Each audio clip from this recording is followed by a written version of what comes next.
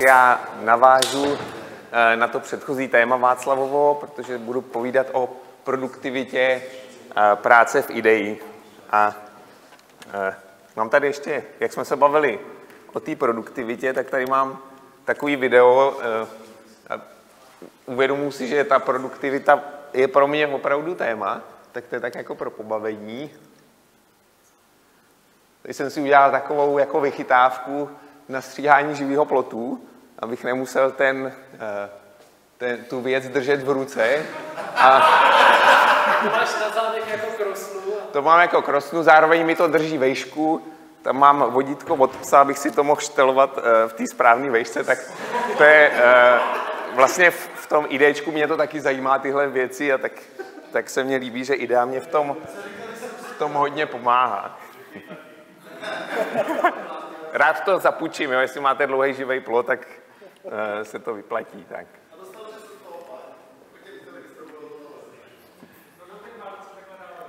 Tak a pro, uh, zkusím to teda dělat na, naživo, tak uvidíme, jak to půjde. Takže začneme uh, zlehka uh, věc, věcma, které v IDE pomáhají na čtení kódu.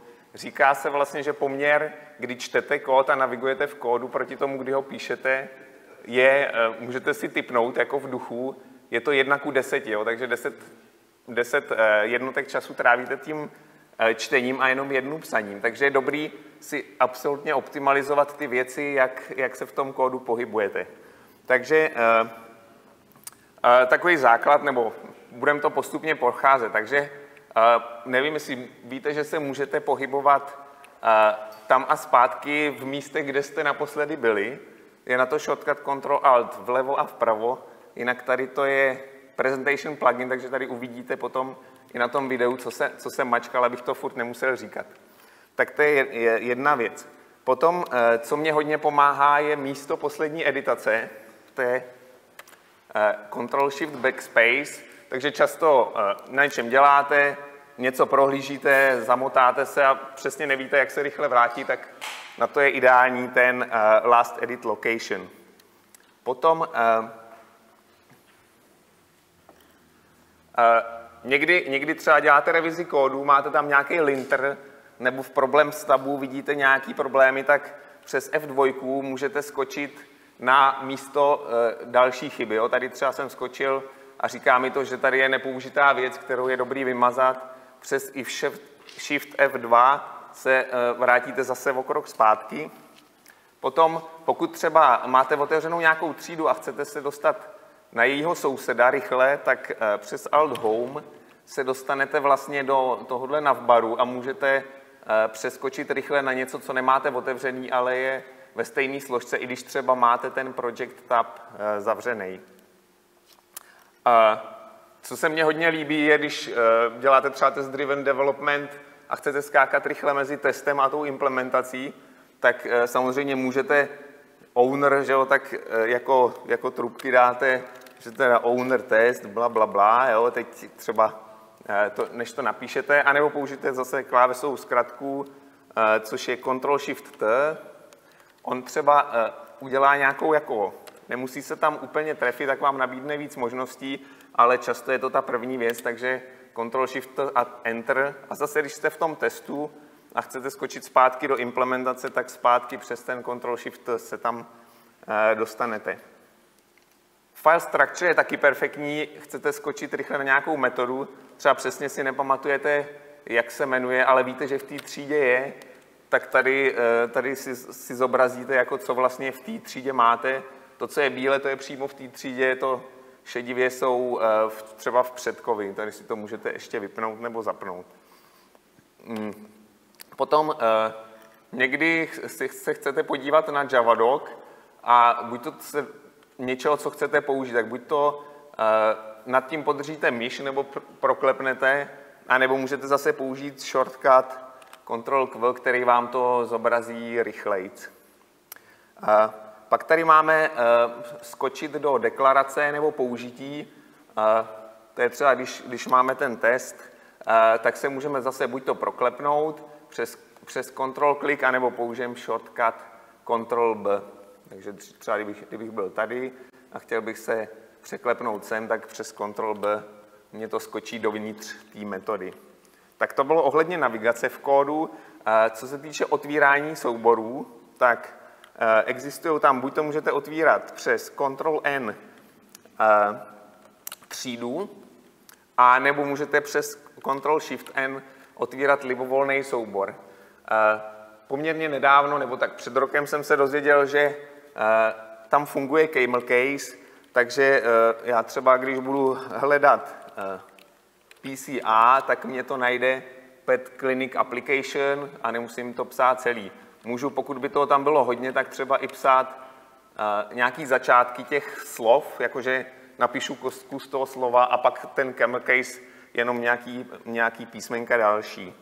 Tak to se mně líbí, můžu používat i hvězdičky, takže třeba, když bych hledal nějaký kontroler, tak můžu napsat hvězdička kontroler. Teď nevím, asi, jo, protože jsem to napsal blbě.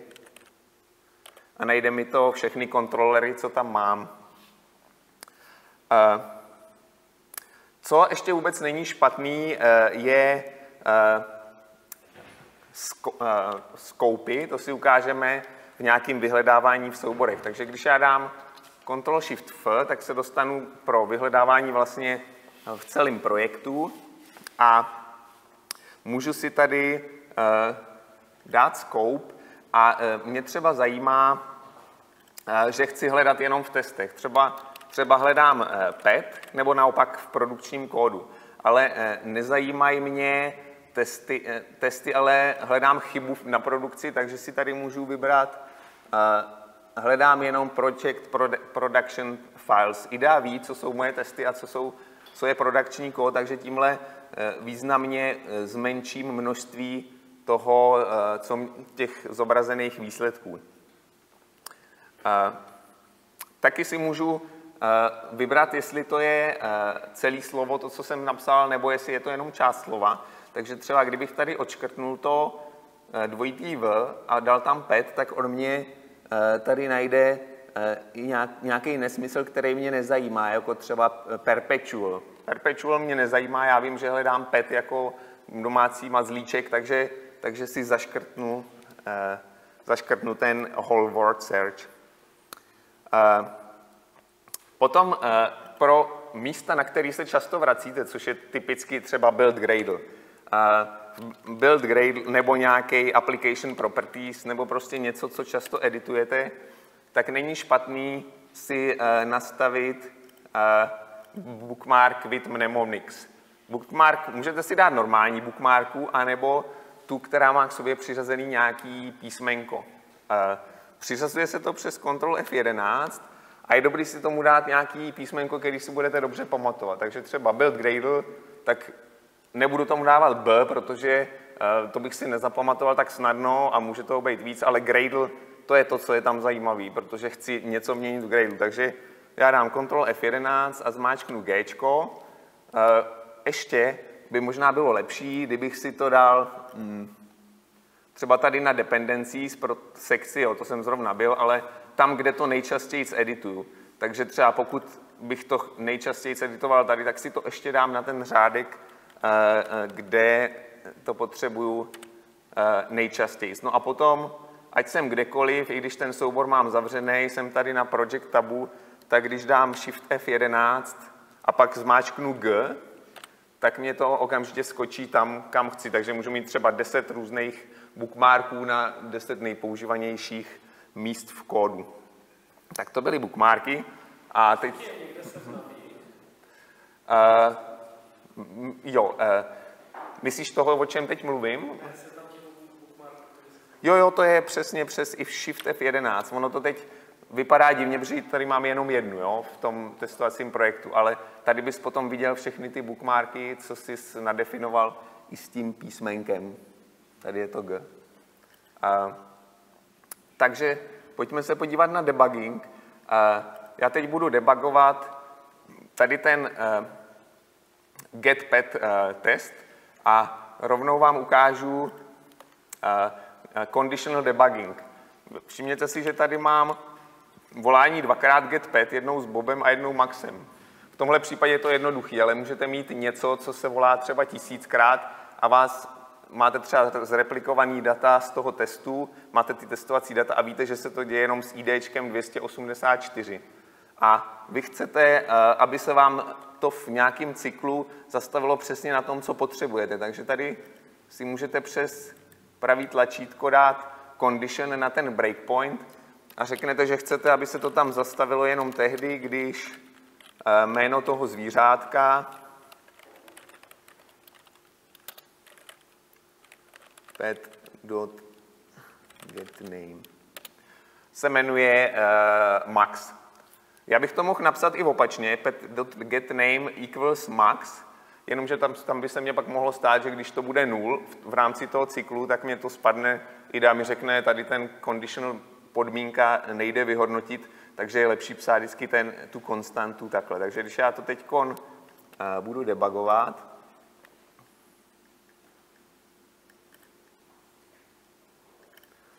tak se mi to tam nezastaví na tom Bobovi, ale až na tom Maxovi.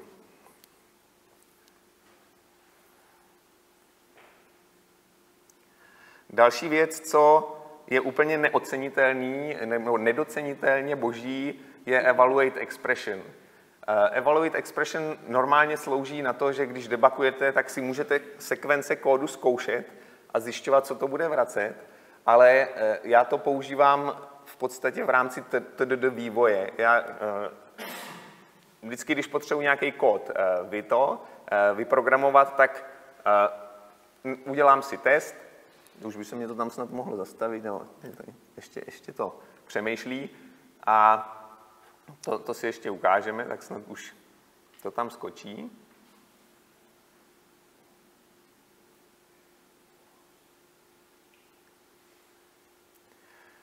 Tak, takže je to vlastně velice rapidní způsob vývoje, kde v tom evaluate okně okamžitě máte odezvu z toho, jestli ten kód, který píšete, eh, je dobře. Pokud by, samozřejmě můžete to udělat, když už máte ten test, že ten test pouštíte opakovaně, ale jak vidíte třeba v tomhle případě, teď se mi to tam nezastavilo, takže jsem asi napsal tu podmínku špatně, ale uh, asi uh, teď nebudu zkoumat, čím se to stalo, ale uh, jde o to, že se to, že se to normálně zastaví v okamžiku, kdy ta podmínka je true. Uh, Další věc, která je eh, super, je drop frame. Zeptám se, kdo z vás zná drop frame a kdo ho používá? OK. Eh, včera jsme se o tom bavili v hospodě a eh, byli tam i kluci, co to neznali. Jde o to, že v okamžiku, kdy se vám to zastaví na nějakém breakpointu a přecházíte přes ty jednotlivé části kódu, tak zkoumáte, co se tam vlastně děje. A někdy se stane, že to prošvihnete, že prostě moc rychle zmáčknete F8 a skočí vám to tam, kde už to nepoznáte, co se stalo. Tak možnost je znova pustit ten test, anebo použít drop frame. On zahodí ten lokální stack a vrátí se v tom uh, stack trace uh, vlastně uh, stromu o jedna výš a můžete tu metodu zavolat znova.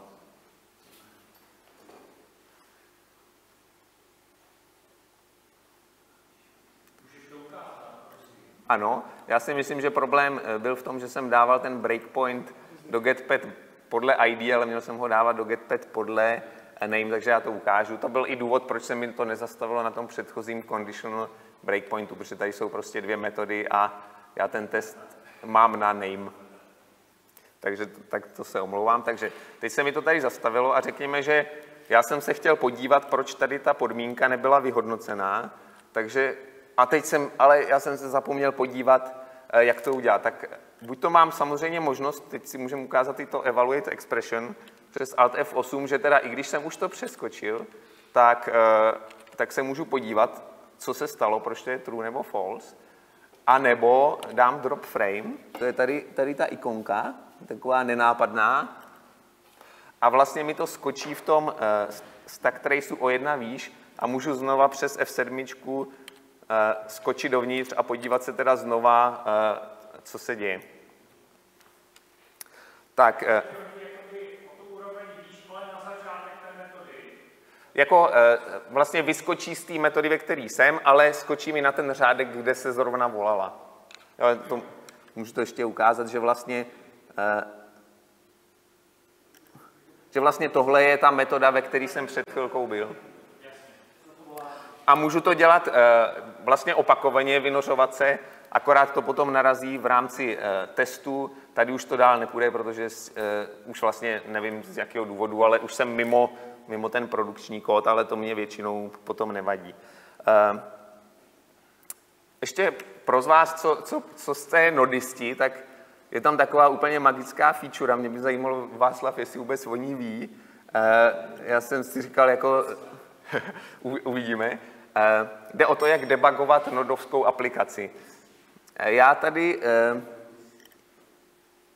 Tohle to je mimo jiné, tu jsem si vypočil od Petra Filipa, nevím, kde sedí, děkuji za to tamhle, nějaká reaktí example, takže když já dám npm start a mám tady nějaký endpoint nebo nějaký breakpoint, tak bych si chtěl vyzkoušet eh, v javascriptovém kódu vlastně to debugovat. Ano, ano. Eh, můžu ještě chvilku pokračovat? Už mě, už mě došel čas? Jo, jo, super.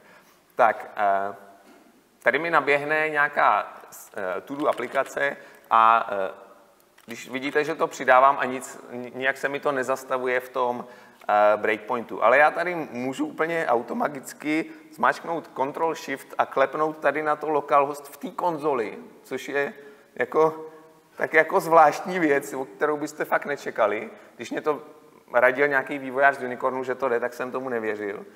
Propustí se mi to znova a když tady to, tady to přidám, tak se mi to tam zastaví a můžu to debugovat. Takže to, to, to mi přijde jako WTF, kde se to vzalo, jak to ta idea udělala, nevím. A taky nebudu to dál zkoumat, ale pomáhá mě to usledňuje mít to život. tak. uh, ještě, uh, co, co, co jsou skvělé věci, jsou lift templates. Uh, kdo používáte lift templates? Zvedněte ruku. Já, já ukážu, protože čas, čas mě tlačí, tak ukážu jenom nějaký moje oblíbený, takže třeba, když napíšu iter a tabulátor, teď bohužel ten, jsem tam teda měl zapnutý tab 9, ale dám teda you know, as out, tak eh, mě třeba doplní systém out print ln, nebo když chci eh, main metodu, tak dám public, public static void main, tabulátor, a on mě dogeneruje ten ten.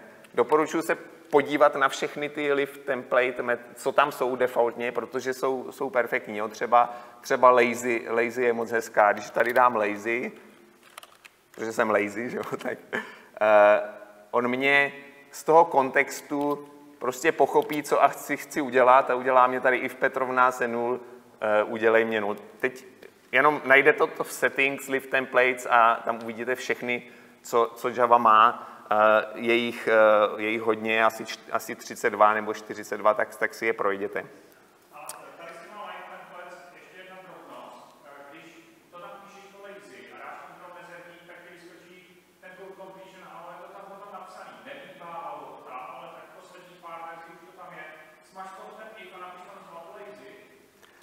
Uh, takhle?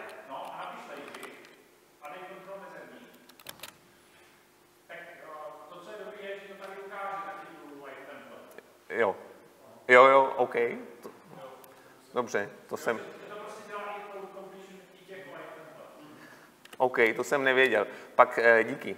Pak se mně, eh, pak se mně moc líbí eh, Surround. Eh, surround eh, má strašně moc možností. Má to možnosti i pro XML, můžete to obalit tagem a tak dále. A já třeba tady jsem odkomentoval nějaký kód, kde to vyhazuje výjimku, takže ještě vám ukážu, že ten Surround With třeba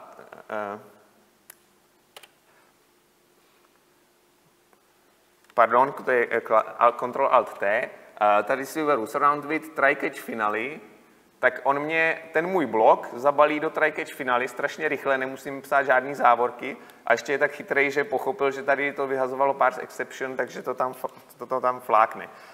Um, ty uh, surround with, uh, je, je jich taky hodně, podívejte se na, na nějaký jsou. Uh, já teda zkusím z toho, protože čas tlačí, když tak zítra bychom potom mohli projít i ty zbylé věci, tak já eh, řeknu jenom ty, co jsou opravdu považuji za, nejdůležitější a, nejméně známý. Uh, pokud, uh, mně, se, hrozně líbí to combo test driven development plus ten evaluate expression. Takže představte si, že já bych měl za úkol naimplementovat novou metodu hesped type. Ona ještě neexistuje, takže je to červený. Takže já můžu přes alt enter si ji nechat dogenerovat. Create method has v té třídě owner a vidíte, že, že už ta uh, signatura odpovídá tomu, co jsem tam měl. Pokud tam chci přidat nějaký další parametr, tak uh, zase můžu přes Alt Enter uh, si ho tam nechat dogenerovat. Jo, jo, jo, musím to dát do závorky, děkuju.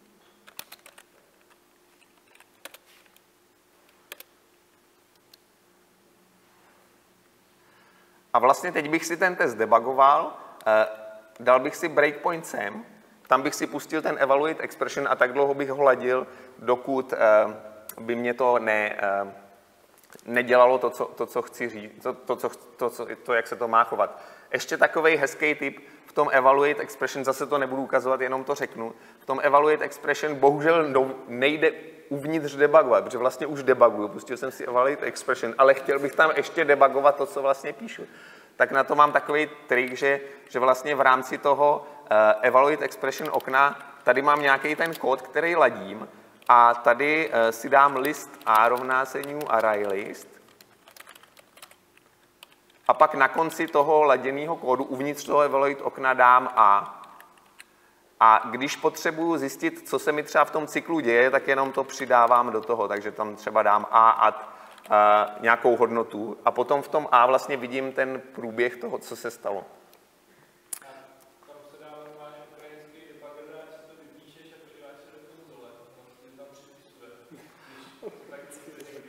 To by jako přes print out Ellen. Mně se, jo, taky by to šlo, ale já často nemůžu tu konzoli toho debugu najít, protože je někde třeba na dalším tabu a tak, tak jasný. Uh,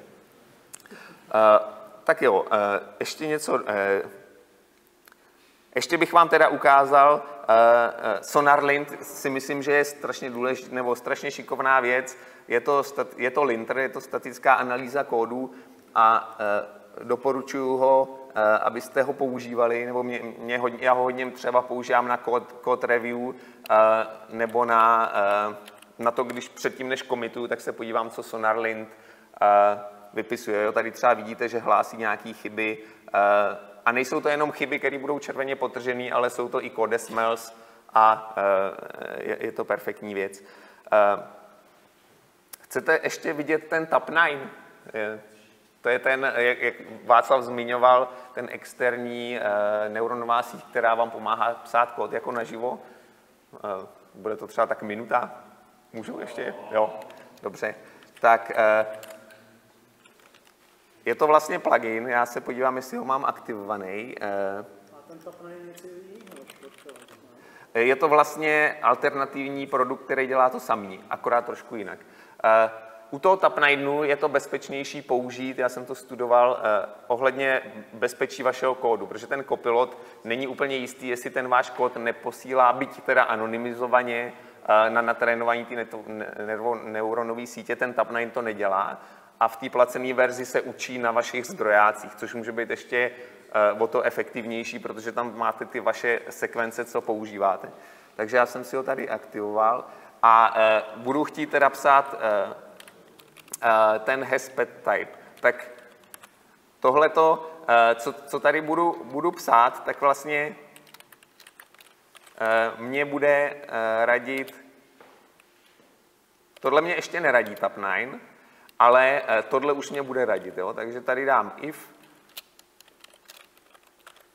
pet get type uh, has pet type. Jo, jo, na, napíše, uh, co tam mám. Takže tady uh, mně se to ještě jmenuje doc, ale správně by se to jmeno, mělo jmenovat pet type, ale vidíte, že, že on vlastně, jo, tady by mělo být equals. Uh, samozřejmě, když jsem si to zkoušel já, tak, tak to dělám mnohem hezčí. uh, a teď už to nevypadá, že tak tady dáme return, ten true a tady dáme return false. No tak teď jsem Tapnaj až tak moc nepředvedl. Ale Snaž to a napiš komentář, check if, uh, if pet is dog. dobře. Že to třeba ten kopilot by napsal. Check if pet is dog. Tak. A vlastně, A teď, a v tuhle chvíli ten kopilot mm-hmm. ti tam hodí block code. jo, akorát, že já teď nemám copilot, ale uh, Mě zajímalo, jestli to. No, minim, aspoň už tam dal equals, equals dog. Jo, už, už, už, mu to jde, už mu to jde trochu líp, jo. OK. Uh, ještě co, kdo z vás používáte, kdo z vás používáte Team, Team City, se zeptám? Jo, tak a znáte Team City Integration do IDEI? Jo. Uh, Team City Integration funguje tak, pardon, Eh, já teď ještě budu muset zavřít ty další věci, když, tak, když bude zájem, projdem zítra, ale ukážu teda naposled ten Team City Integration. Já musím zavřít eh, tu, tenhle projekt v IDEI a ten React to-do list a funguje to tak, že